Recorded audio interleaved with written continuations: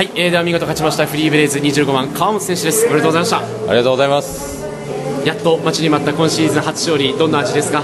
やっぱり勝つっていいですね。何よりもやっぱチームの士気も高まりますし、はい。こう今までこう頑張ってくれた人たちも報われるっていうか本当気持ちいいです。試合の後のロッカールームどんな雰囲気だったんですか？やっぱ今までこれ味わえなかったんでようやくこれが普通になるように今後も試合で勝っていきたいと思ってます。まあフルストの相手力も入ったかと思うんですが。はい。そうですね。初めはちょっとどうなるか心配でしたけど。まあでも氷の上に乗るとまあそんな、まあ、個人的な感情も多少はありますけど。でもまあい一つのチームとして見てるんで。まあでも結果が出てよかったです。さあ明日もありますが明日に向けてもお願いします。もちろん明日も勝つつもりでここで勢いに乗りたいと思ってるんでまた皆さんいっぱい応援してもらって僕ら力になるんでぜひ新田のリンクの方に足を運んでフリーブレイズ応援してください。あ川本選手でした。おおめでとうございました。ありがとうございましりがとうございます。たはい、えー、では続いて鈴木正人選手です。おめでとうございました。ありがとうございました。久々の勝利の味はいかがでしょうか？久々ですね、はい。プレーオフ以来なんですけど僕は、そうですね。はい、やっぱ勝つことが一番の薬ですね、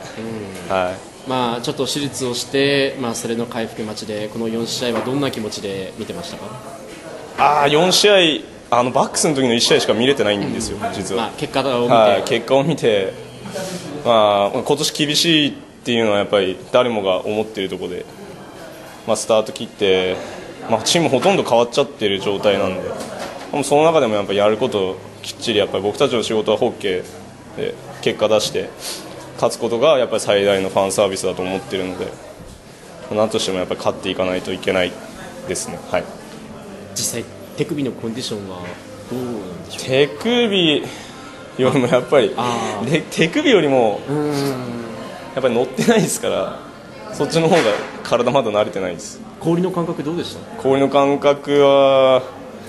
そうですね。感覚はそんうんでもやっぱりきついものはきついですよ。でもそれでもやんなきゃいけないですから。い自分で決めたんですか？今日出るっていうのは。やこの状況なら出なきゃいけないと思うんですよね。怪我人多いんで、はい。そうですね。休んでもいられない。休んでもいられない。いけるかって言われて、まあ、いいけますっていう形で、あそうだったんですね、はい、まあ、その中でも掴んだ今日の勝利非常にチームに勢いを与えたとそうですね。かなり大きいと思います。若いチームで、えーっとそうですね。去年まで試合出てた選手がかなり入れ替わっている状況で若手が多い中若手というよりも試合経験少ない選手が多い中でのやっぱり勝利なんで、まあ、やっぱ一番勝つことが大事だなって思いますね。こういうのを見ていると。まあ、今日勝ったことで明日がより大事になったかそうですね、はい、明日気引き締めてやらないと、まあ、今日は今日で終わりなんで、まあ、明日もやっぱ勝たないといけないと思いますし、まあ、なかなか難しいと思いますけど、まあ、出だし先行していければいいと思いますね。は明日も活躍楽しみにしています、はい。はい、鈴木選手でした。ありがとうございました。はい、えー、そしてキャプテン田中剛選手です。おめでとうございました。ありがとうございますいやー5試合目での勝利の味はいかがでしたか？本当にほっとしました。なんか嬉しいもありますがほっとしたという気持ちがその方が大きいですね。はい。まあ、今日のゲーム、まあ、2週間空きましたけれども、はい。まあ、これまでの4試合と何か違う点というのはありましたか？えーまあ、4試合終わって2週間、まあ、空いたことによってまあ本当もう一度考え直すことができましたし、まあ、本当練習もしっかり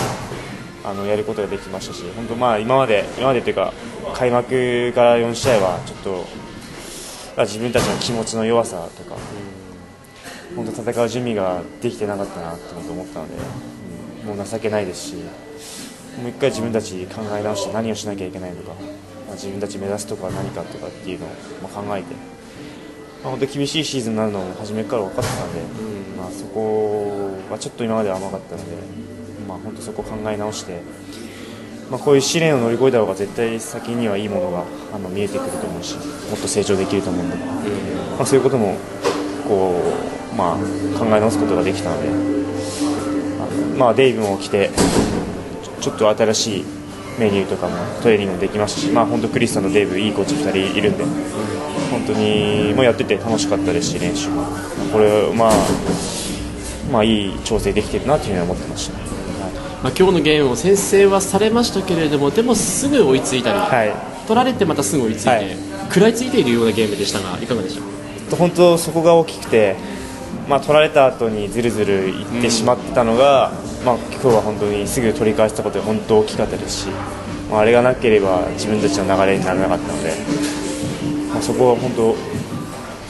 こういう接戦できた要因だと思います。ちょっと怪我で出られない選手もいる中で、はい。鈴木選手がはい。こういう状況で帰ってきてくれたっていうのは大きいですね、そうですね。やっぱ彼は得点力ありますし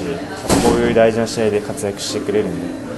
もう戻ってきたのは本当チームにとってかなり大きなことです、はい。さあ明日、はい。勝たなければ今日の勝ちも意味がなくなってしまうかもしれませんが、はい。明日に向けて。もう明日は本当もう今日の反省生かしてもっといい内容のゲームしなきゃいけないと思いますし、まあ、本当ここで勝てれば本当に波に乗れると思うんでもう明日全力で全部出してぶっ倒れるまで走って、あのー勝ち点3取りたいです、はい。あ明日も燃えるようなゲームを楽しみにはいしてます、頑張ります。キャプテン田中剛選手でした。ありがとうございました。ありがとうございます